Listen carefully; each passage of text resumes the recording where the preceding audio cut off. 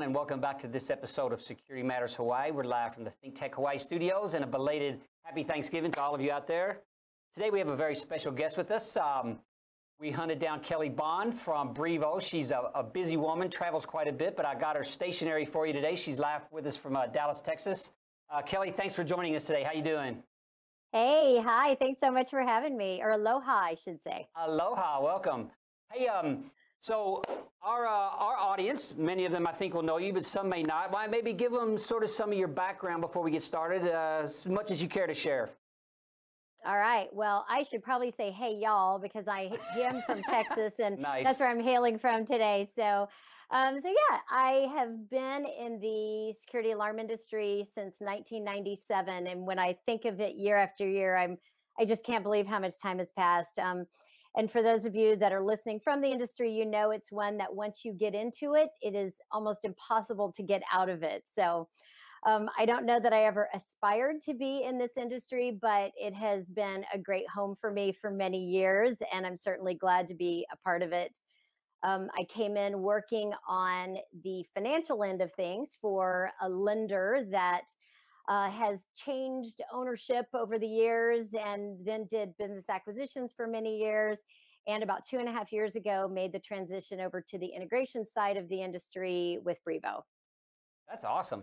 And you said something really interesting that I think a lot of people don't know, or maybe they do. None of us grew up thinking, wow, I want to be in the security industry, right? You right? just sort of find it, and here's this amazing place with these amazing people that I think do amazing things. Yeah, I agree. I agree. Awesome. So, in um, in your role at Brivo, I'll tell you what, we'll talk about Brivo in, in, a little bit later. Let's talk about the Women in Security Forum. Um, I know you're on the steering committee. I think you were sort of one of the original uh, members on that forum because it's not that old. Tell me sort of how that got started and what you know what drew you to that. Um, you know what uh, what what's going on with the Women in Security Forum that uh, SIA is running. Okay. So um, I am one of the original members uh, of the committee, and we started at ISC West year and a half ago. Gosh, almost two years ago when you think about it.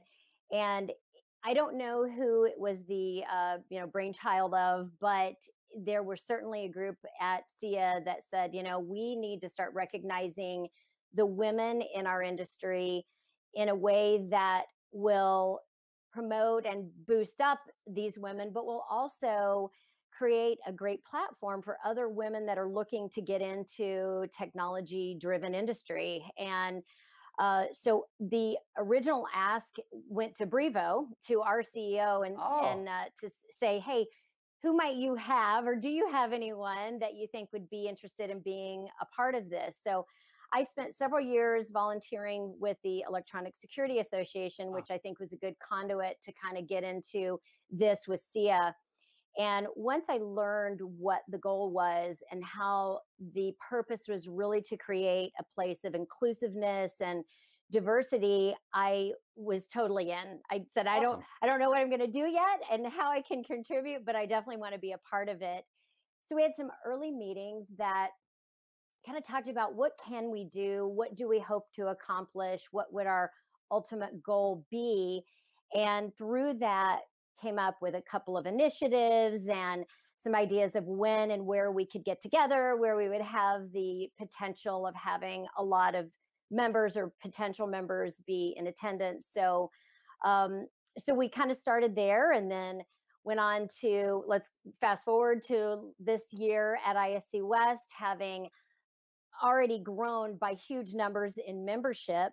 We had a breakfast one morning, which I believe that you were there. Yeah where we packed the room. We had great speakers and we had women and men that were so supportive of this group and wanting to get involved. Through that, we have had an abundance of applicants for membership, which is it's amazing, especially considering that a lot of association numbers are backsliding, not moving forward like they are with SIA, which is mm. amazing. Um, so yeah, so this that's kind of how it started. And then uh, when it came time to put committees together, because I had worked on membership at uh, ESA, I raised my hand and said, "Hey, I'd love wow. to to do this because I have such a heart for women in our industry and and would love to see that grow and um, i thought this was a great platform to be able to do that so that's awesome the um yeah you know the the the show the ISC well I think I don't know I think we had like a couple hundred people there easily and I know Easy. that I know that from the last steering committee I think I think we've added another 100 or 100 and a half so this is a not it's kind of like a tidal wave I think of of It is. interest you know what I mean and Yes. for me what happened is I've met uh, women in a lot of other roles in the security industry that I, I didn't know. You know, Christine, my wife's an owner, which is rare, right? A female owner in our Right, industry. I think right. there's probably 10 maybe or something like that, you know? And uh, met Eddie Reynolds, you know, a manufacturer owner. So Mhm. the, the cool thing is there are these roles, you know, um, of engineering roles and, and cybersecurity roles and project management roles and all of these roles that are not, I think, I think our industry thought that the women, the role of women was more marketing or sales or something like that. And it's just not the case. You yourself lead a, a global effort for dealer development, right? right right For, for Brivo. yeah so, and i think you're you're exactly right Yeah. we don't see a lot of women owners um, but i'm amazed i mean they're out there and and this is a great forum for us to kind of you know learn who they are and bring their strengths to the table um, over the years i've seen the numbers grow and I- i'm excited every time i come across a company that has you know a, a female owner or you know partner uh, because it just you know it it just absolutely supports what we're trying to do here to say hey there is nothing that keeps you out of this industry in fact you're welcome here and we want to provide all the support that you need to create your own success Yeah, I hope this. I hope the forum can also en- enable that message a little bit. You know, I think sometimes there's maybe some trepidation to to try, and we encourage everyone in, in like in our organization to try to move over, try other things. If you have other types of interests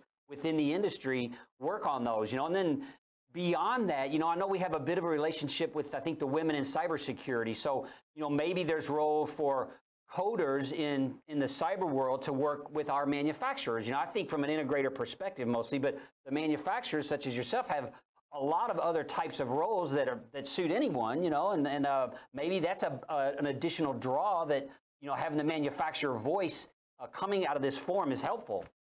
Right, right. Well, you know, uh, not too long ago, there was a study done, and I don't know how accurate the numbers are that I'm going to share, but I will, uh, I'll tell you what I think we're in the ballpark um, that we only have about 11% women in our industry. Wow, that's That, low. that is a very small pool. Yeah. Um, I'm very proud of Brivo. I think we're about 32% women, Oh, which awesome. is so exciting. And that that runs the gamut from executive team to engineers to marketing to sales. And and so I love the diversity that we have within our own company. But gosh, 11% it's almost embarrassing to say that that's the that's the segment of our big industry, 18,000 or so companies with 11% women. wow, That's it. yeah. So, you know, you were saying it before, and I'm going to bring it up. You know, I won't say you're the way you put it with the old ball guys. Uh, yeah. Um, that is that is not that's present company excluded. Um, but look around. You go to a trade show, you go to a summit. Look around. Yeah. You that 11% that may seem big based on what you see out in the marketplace. So Yeah. it's not that those 11% are necessarily making up those that are out doing things. A lot Mhm. of those are are you know HR roles. They're roles that are that really are in the office. Not that that's a you know not a a very very important and integral role in any business, but Sure. we still just don't see a lot of women out at events, um, Mhm. you know, speaking. Uh, you know, there's just such opportunity out there. And I, I will tell you, when I first came in the industry, I remember the very first trade show I went to was an ISCE show, Wow. and we we were not exhibiting at that show, but come west the next year, we did exhibit. And I will tell you, there were not a lot of female exhibitors, and I was um, several years younger. And the women in a lot of the booths were hired, and Oh, the yeah, sure. perception was that's who were the the women were that were manning the booths were hired to be there I see. and you know and that's that was something that certainly did not um, bode well for anyone interested in getting in the industry at that Yeah. time but i'm you know that has changed dramatically you don't see that very much anymore in fact i think some of the trade shows have actually banned that as Mhm. um as a practice but anyway that's what you saw you know in the late 90s early 2000s so it, it's really nice to see that that's changed Yeah, we've we've had we we we do have that issue. I mean, there's I, I you know Christine and I'll be at a booth. We'll walk in to talk to someone, and they just sit there talking to me the whole time, and she's the president. You know.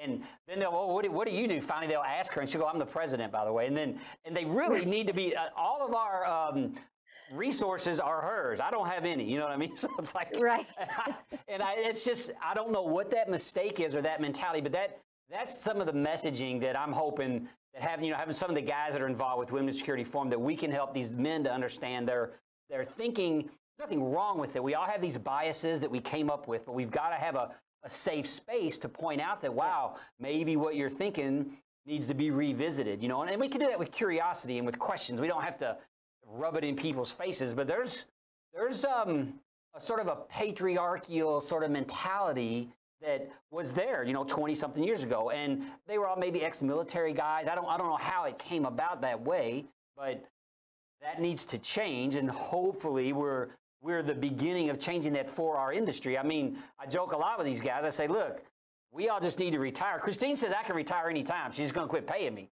So I'm like, I can't do that yet.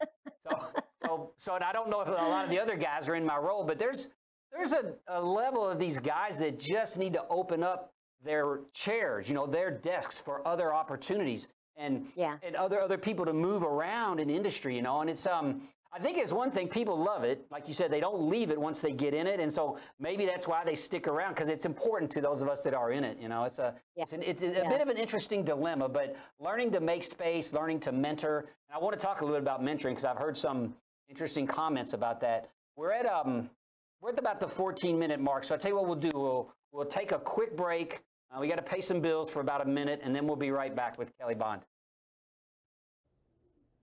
Hello, I'm Dave Stevens, host of the Cyber Underground. This is where we discuss everything that relates to computers that's just going to scare you out of your mind. So come join us every week here on thinktechhawaii.com, 1 p.m. on Friday afternoons. And then you can go see all our episodes on YouTube. Just look up the Cyber Underground on YouTube. All our shows will show up. And please follow us. We're always giving you current, relevant information to protect you, keeping you safe. Aloha. Aloha, I'm Wendy Lowe, and I'm coming to you every other Tuesday at 2 o'clock live from Think Tech Hawaii. And on our show, we talk about taking your health back. And what does that mean? It means mind, body, and soul. Anything you can do that makes your body healthier and happier is what we're going to be talking about. Whether it's spiritual health, mental health, fascia health, beautiful smile health, whatever it means, let's take healthy back. Aloha.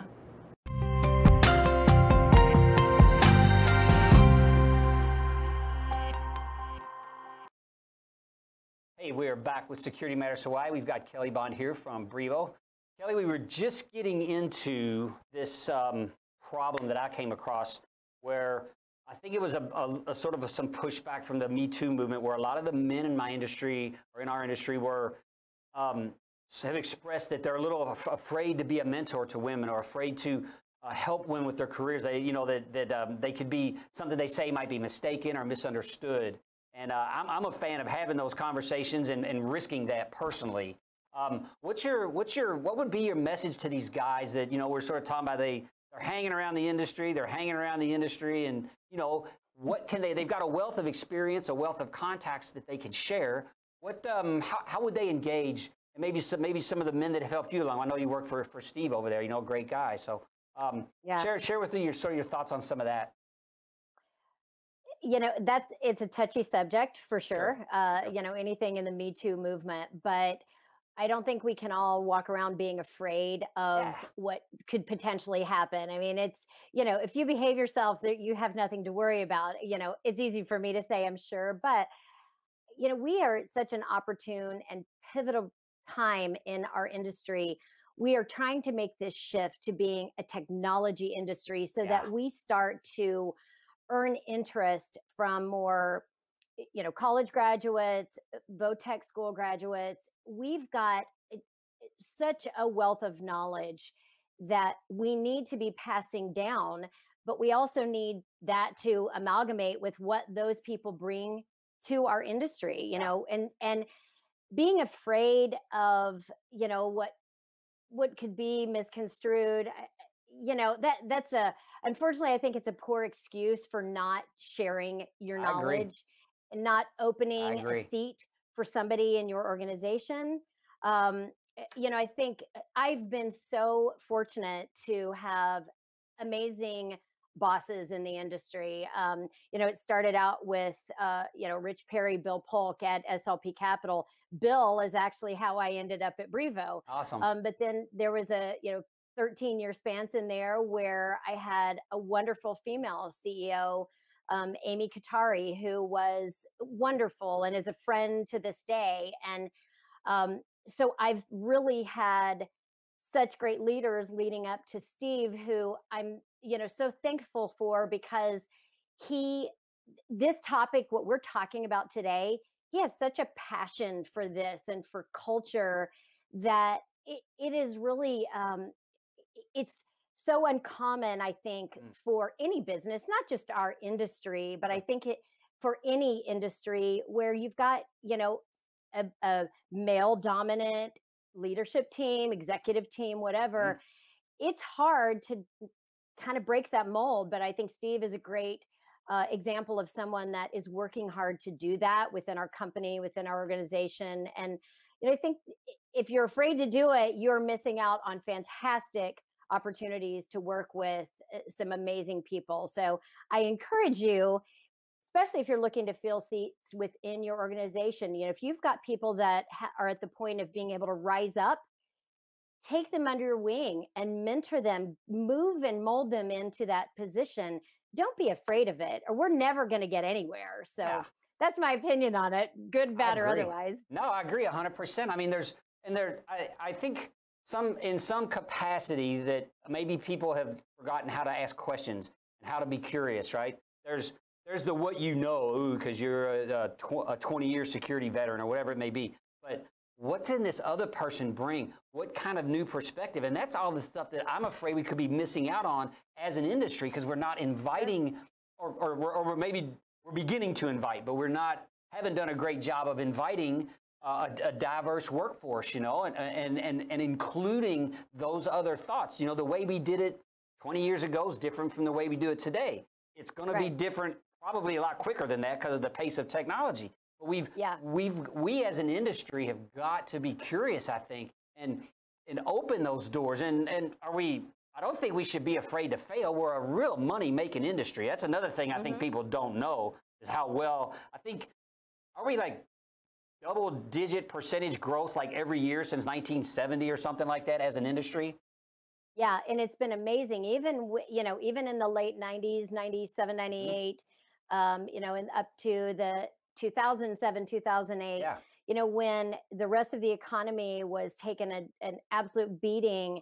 If you looked at multiples that were paid for businesses in the industry, and and you see there was such a small shift in the valuation of companies in that time Mhm. frame it should go to tell you that there's something stable and consistent about this industry and it should be one that more people are interested in getting into so um, so yeah i, I think it, the, the opportunities are abundant and and if you don't take advantage of them you're definitely missing out Yeah, there's, and I, that's what I hope that that message sort of translates out through the, you know, the relationship with the women in cyber, and and there's so many, the Executive Women's Forum or Foundation. There's a bunch of different women's groups, and I think we Yeah. need to reach into these sort of other pools of knowledge and bring that thought into our industry. You know, because because there's a competition for it, right? But we can pay well, sure and uh, we can teach, we can learn. There's a lot of lateral movement within our industry that people can challenge themselves. There's no reason to ever really get stuck in any role in this industry that I know of. right right Well, and growing companies should have opportunities for people to move into different positions and and do different things. And I think that's uh, you know another opportunity to make available to everyone in your organization to say, hey, you know what? If you always wanted to be an engineer, and right now yeah. you're in eh, you know whatever role you're in we're going to support you getting there you know let's yeah. we'll make it available to you we as a, as a company want to see your growth and you know it also creates sticky employees to do things like yeah. that you know you want longevity you don't want a lot of turnover so great opportunity to do it and you know i want to mention too i think that we are seeing a little bit of a shift of what's happening with um, high school graduates. They're not mm. all going yeah. right to college. Sure. More and more every year are choosing a technical school or you know vo-tech type school. Sure. Um, they're getting into the workforce earlier and they're coming with different skills. And oftentimes these are folks that are very committed to what they want to do, what they want to learn and they bring a whole different subset of qualifications through the door. So I, I think we also as an industry really need to be focusing on that as a feeder to our employee bases. I, you know, mm-hmm. it's another great opportunity to get some fantastic folks, you know, men and women, um, but certainly women. I think they're those numbers are growing in the vo-tech schools every single year. So okay. we don't want to forego missing unbelievable talent because we're looking just for a four-year degree or you know. And think about it too. How many people are actually working in the field in which their degree was given. Right. Exactly. I'd say it's a pretty fair number that are not. They're doing something different. So, so, so you know, just something to keep in mind. I think. Yeah, 100% agree. I, I we've had success with some interns out of the high school programs, and I. I follow the Hacker High School got group. I go out and teach them. I teach them how to hack alarms, but then I also give a pitch for our industry, which is kind of fun. So I agree with you 100%. There's um, there's definitely a, a, a pool of talent that's, and they're they're already sort of IT talented anyway because they're just the way they yeah. grew up. And so they sure. all we have to do is teach them security. I think um, I think the internal training uh, spend is, is worth every penny that you know a company's invest in its people without a doubt. Let's um yeah for sure. Let's you talk. Know, and SIA does the oh I'm sorry sorry. No no I was going to say the um, I wanted to get a little bit of, of, a feel for what's going on at Brivo today. I know you because you get around, you know, globally and talk with your dealer base. So how are you know the the, the cloud services were um, a little bit slow to adopt, but they you, you see everyone going that way, obviously. Um, so what's yeah. your what's your take on it? And then and what do you see from that that dealer base that's out there? From a, is it 11% women as well, or are you are there are we doing better in cloud services? Maybe I don't know. I don't I don't know what the numbers are as far as women that are are uh, in the cloud, but I would say that probably more women because we know of these things. We know mm. that you should be forward thinking, but that's just a generalization. Anyway, um, so Brivo is doing fantastic. You know, we were the first ones to cloud, and mm-hmm. certainly it took longer to adopt. Thankfully, um, you know, Steve and uh, John Szczygiel, our team, have you know, a total commitment to this. They knew that this is the way things were going to go. So they just kind of held steadfast and said, you know what, we're going to stay on this path. Unfortunately, they did because it really made us the premier provider of cloud services to access control. We were the pioneers of it. And what this has done and created for a building manager or you know a business owner is if you think about the um, accessibility and the ease of use and the convenience of having a cloud-based access control system uh, versus you know having an on-premise system um, eh, they're night and day. It's almost like it's a completely different type of business because eh, you know because one of them just gives you all of that. It's the it's the convenience it's the scalability of cloud-based physical security. So um, we are growing exponentially. Our customer base is, eh, you know, our dealer base is amazing. Um, we do not sell through distribution, so it's it's direct through a channel. So we know every single sale that takes place, and um, we're doing everything we can to nurture our dealers. We work on that. We talk about it every day. We want to do everything we can to make them better. Um, the fact that we've we have uh, an open API and um, the ability to integrate with other um, management solutions to you know create a completely managed system is amazing. The fact that you can view live and save video right through one application um, i mean Mhm. it's it's amazing and so coming from the intrusion side of the industry Ah, to Brivo, I will tell you, I had to learn a whole new job because I did not know what I did not know. Trust me. So now that I understand it better and I can see where people were a year ago or five years ago, I think why would you even look at something that was not cloud based? I mean, it's it the capability is phenomenal. Um, you know, we scale from small to medium sized businesses to enterprise. So um, you know, and you could have a location in, um, you know, the UK and one in New York and be on your phone and remove a credential or set up a schedule or whatever you need to do. So it's um, it's such an exciting time to be in this space. The growth is phenomenal. Um, and what we're also doing, we we actually had a press release that came out a couple weeks ago where we are integrated with Alula. So we are actually going to have the ability to control your alarm panel through Brivo on air. awesome. Uh, so, which that is super exciting for us. And for me, that gives, I, I love the opportunity that this gives us to go out to that, um, you know, security, uh, um, more intrusion dealer market Mhm. that may not have even considered doing access control in the past. So, um, so I, it's very, very exciting uh, and and a fun time to be in this space. Yeah, it's it's amazing. It took our industry sort of a, a while to understand that we're, you know, everybody else was managed service, managed service, managed service, and that's where we're headed. And now they're, you know, they're finally. I think the adoption rate's catching on as everybody leaves all that hardware behind that they used to have to support. So really great insights there. Kelly, I want to thank you for joining me today. I really appreciate it. The time flies.